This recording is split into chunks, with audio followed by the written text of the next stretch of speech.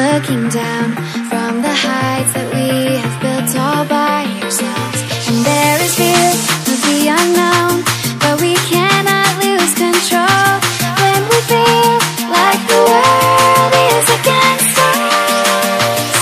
We're trying to find ourselves without the defining words. We can no longer hold on to what.